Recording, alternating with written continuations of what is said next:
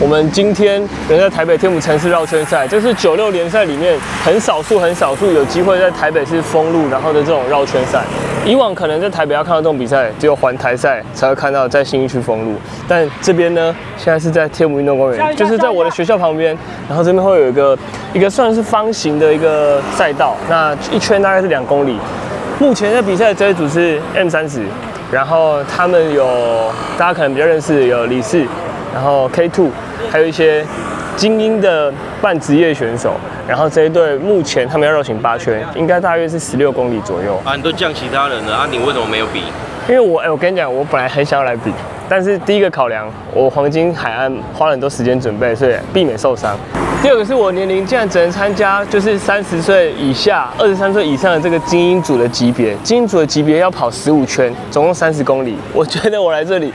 跑那个组别是会被电爆，尤其那组的对手是有冯俊凯的。那我们现在看的这一组呢，是一般试运组。其实只要不是精英组，都是绕行八圈，总共是十六公里。精英组就绕行十五圈，但现在强度其实蛮高的。我们在这个地方看他们过弯，哎，那个风压超大的。现场间距一看，我刚刚问了，就是刚上一趟的选手，他们过这个弯均速大概都是五十，哎，是很可怕的。然后这个路线呢，它绕行一圈，虽然是么字形，呃，就是正方形，但它其实在其中一个弯角的地方，你要先有一个大约应该是不到一百公尺的蛮陡上的爬坡。那我觉得那边可能是一个小小的分裂点，因为一上坡完右转又接下坡下来，可是其他路段，其他的这个么字形的这个边就几乎全部都是平路，所以整体我觉得有可能改变战术的地方，可能就是那个地方。那像刚刚这一组是只有三个偷跑的，一路就到终点了。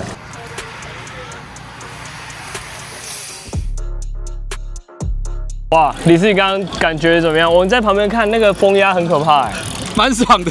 我觉得在这个城市里面比，真的我觉得还不错，哎，氛围蛮好的。因为我们刚刚就在想说，以台北来讲，好像只有环台赛有这种封路然后绕圈的可能。你有比过类似的比赛吗？呃，桃园在大园国中有绕圈赛，但是大园国中毕竟没有那么市区，它已经很郊区了，对，所以绕起来的感觉有点像约骑自己练车，但在这里绕起来是很有竞赛氛围，因为有看到很多的三角锥嘛，嗯，然后又有铁铁铁这个铁栅栏，对，把它拦围起来，就有点伪伪选手的感觉，那种 气氛很好。那你觉得，因为我们有呃，我算是在地附在这边很久的，是是是，呃，读书什么，然后有一段是不是有一个小上坡接下坡？对对对，我在呃。旁观者看那边是不是比较容易有一些小组就是拉开来的可能，还是哪一段是主要攻击赛？那边其实是最容易制造就是 gap 的地方，因为不管是爬坡用力，还是下坡利用技巧带一个速度差。对。要么你靠爬坡很大力先拉开一个 gap，让后面的人想去追你嘛，对，那就会制造那个拉扯跟间歇，或者是下坡，因为它的下坡是右是下坡接一个急弯，对，右转，所以如果你的进弯角很漂亮的话，其实你的速度是几乎不会减的，哦，但是如果进弯角太多了一起进，很容易减速，那这时候。后面减速，前面是没减速的哦。那后面是不是又要又跟前面制造一个很大？难怪我们刚刚看到就是转弯一阶直线，很多人是顺顺骑，后面的人几乎都要站起来抽才追得上。没错没错，就这就是这就是这两个这两个点是很好制作制造 gap 跟制造痛苦点的地方。太强了！对对对，哎，恭喜你第四名，因为我们刚刚看前面那个小队应该已经早就拉开，所以你应该是第二个算主集团的。对我我一直在保持在就是前五台，因为我知道。前五台一定有人要防守，因为前三个一定有队友，就是已经跑掉了嘛。那他前五台一定会有人要防守，就是挡在前面，所以我一定要维持在前五台，至少让速度不要慢下来。对，看能不能气氛对了，让一些别队的想要参与我们的轮车，然后去追击前面。但是最后还是差了大概四百公三四百公尺，就是后面虽然我们有加速，但是。还是太慢了，但是我就是至少要力保说我在主集团的第一，所以就维持第四这样。哇，太强了，恭喜恭喜恭喜！哇哦，接下来下一位是 K Two，哎，呃，这个集团好可怕，还在喘。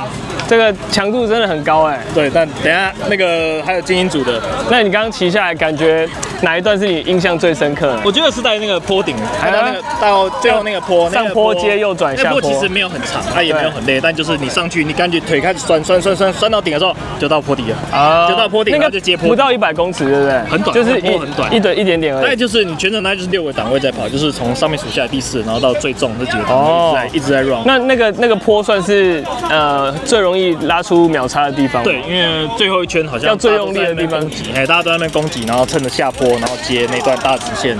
哦，那你觉得今天整个赛事当中，你自己哪一段觉得最辛苦？因为总共只有八圈嘛，对，会有哪一段是你觉得最辛苦？的？我觉得前前四圈真的蛮痛苦的，因为前四圈我觉得腿还在适应那个节奏，然后然后第四、第五圈大家开始攻击累了，然后节奏就开始放缓，那个时候才开始比较觉得可以专心看比赛发生什么事情，对然后再想办法让自己活下来。要看一下数据嘛，来来看，那均瓦是多少？跟大家分享。均瓦均瓦可能没有很高，但我觉得均心应该很高。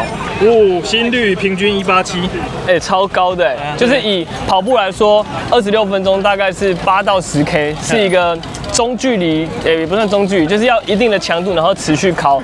可是我觉得心率怎么高，应该也高不到这么高，维持这么久。的频率是很固定的。对对对对，骑车是不会忽上忽下。忽下，哎呀，哦，今晚二二零六而已啊，N P 二九，其实没有很高啊，主要是 IF 就是这个疲劳指数，呃，零点八，呃，零点八八。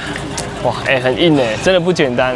还好一开始没有报名这个比赛是对的。你看报挑战组，挑战组其实比较安全。你看，但挑战组因为绕出去就看不到这个精彩绕圈了。好啦，感谢 K Two，谢谢谢谢谢谢，可以看到你。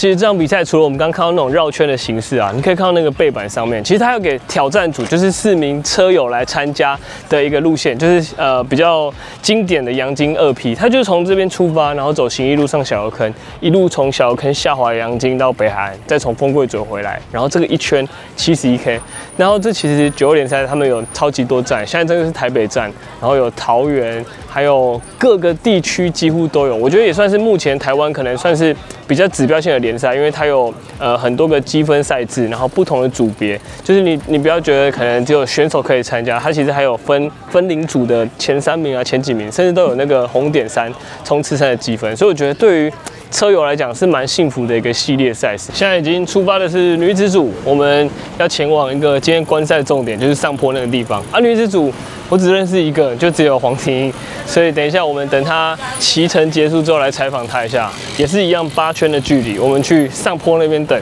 看看每次选手最用力的地方那个点，应该很精彩。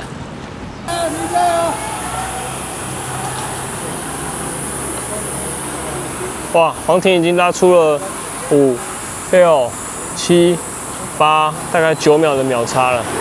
第二角集团，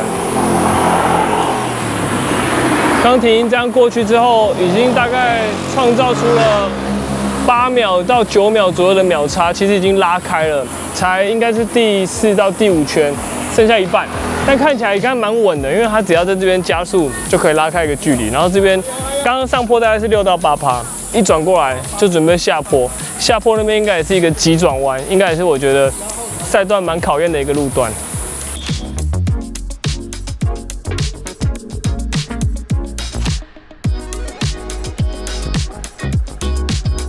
黄婷已经过去了，应该是最后一圈了。在这个下坡九十度直角的转弯超可怕，接下来要看到的是整个大集团也要准备通过了。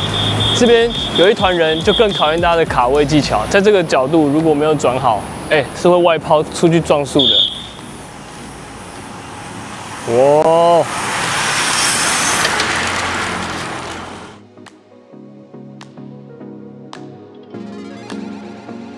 哎，久等了，我们的黄婷英管姨妈终于下来了，因为刚刚很辛苦，一回来就是主播。今天骑的感觉怎么样？今天骑的好累，我完全没有热身就直接先攻击了。你是太晚来吗？不是晚来的问题，是是是有点好了，睡睡睡比较久。没有，其实这场比赛也是，它没有什么中立权，所以你其实在原地起跑就已经开始攻击了吧？对，因为没有第一圈热身圈没有，所以一出去就算八圈哎九圈了。对，所以那一出去的时候，知道就是在比赛过程当中，自己就想说绕个两三圈，然后让大家再开始慢慢进入状况，然后挪那个熟悉一下路线，因为没有骑没有骑过，没有训练到这个路线。嗯嗯嗯。结果没有想到一出发的时候，我觉得身体好嗨，好嗨哦，好嗨哦，就开始攻击人。然后出去突围出去之后，发现没有人跟上。我刚刚就在旁边看，说应该是最近在备战奥运，其实体能超饱，因为你跟后面第二集团的选手大概差了应该二三十秒的秒差。我不确定最后终点成绩差多少，但是看得出来差距是越来越明显。而且你就是循序呃稳稳的这样，后面的集团是有很多卡位。我是努力的保持。你是努力的，我看起来你还保持了一点轻松这样。我就想说，哎，婷婷今天是不是来约起的？人家很谦虚，你一定要让他。我是真的，我心我今天平均心跳一百七十八。哦，我跟你讲，我们刚刚前面采访到的都是平均一百九十下的，他们是 K two 跟李四，他们都是超高的哦，他们是老人，OK。你要么就是老了，要么就是年轻的。然后我们这种中间年龄层的有没有？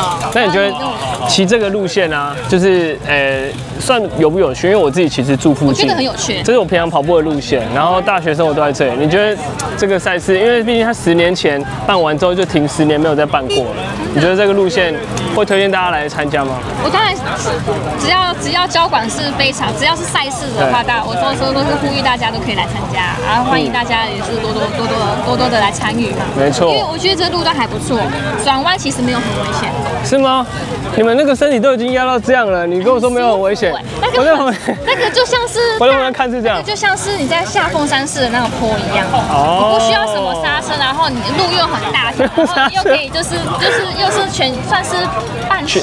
全半线三道，两到三道但是你转弯。的话，因为你也是隔着那个人行道嘛，对不对？所以其实说说实在，你也是单向，也是全线通啊。哦对啊，然后你在过弯的时候，你又可以绕到最外面，然后又可以切进去，然后你不用刹车。哇，好啦，下一次我有机会来体体验一下，我看有没有机会他们让我参加那个女子组，然后我尽可能跟上停音，看能撑多久。撑撑一圈是女子组。夹起来，我夹起来。哦，撑一圈是一圈，好不好？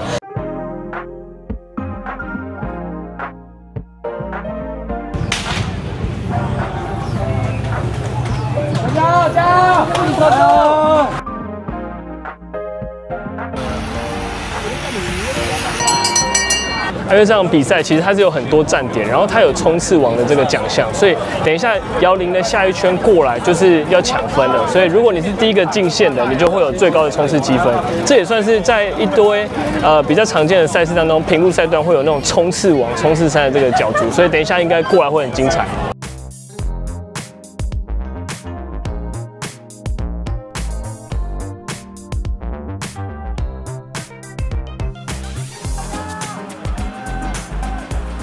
那你今天骑的怎么样？我看其实参与很多次攻击或是抢分，哎，对，就是就是让比赛就是比较有休息可看性多一点。对啊，哎、我必须讲，我在旁边听裁判讲，大概有超过一半人都被套圈，就是他们拉拉超多人下来，然后裁判大喊说：“快点，再慢一点，我下一圈把你抓下来。”比赛会是遇到这样的吗？真实比赛在绕圈的时候，比较不会，还是是看时间，它就是时间差多没有没有，就是落后太多一定会被叫下来，因为这个比赛才两公里而已啊。基本上你落后三十秒就已经没希望了。那像以前这个路线跟你在日本比的那种绕圈赛比，你觉得有没有什么不太一样的地方？日本的，如果是纯绕圈，日本的会太多，其实很难讲。OK 啊，其实我这我的感觉都差不多，哦我感觉差不多。就是一直在攻击，没什么休息的机会，就继续攻击。对对对对，耶完成比赛了，不是我完成，是看完他们比赛。哎、其实蛮精彩，因为一早从七点多一路看到十点，越高层级的级别，那个竞争是越可怕。但我觉得绕圈赛真的很好看，而且重点就是在我家楼下，接下来直接可以看。好了，那我们九六天母站的这个绕圈赛都已经结束了，期待下一次有机会，我要下场来挑战一下，看我到底可以坚持几圈才结束。我是你这样队，如果喜欢片，记得按赞、订阅、分享，可以选一张。可能七月之后，我就可以开始稍微骑一点车了。毕竟拼完成绩应该就比较安全一点。现在不骑车是怕有受伤的风险。好啦，那我们就下一次见，拜拜。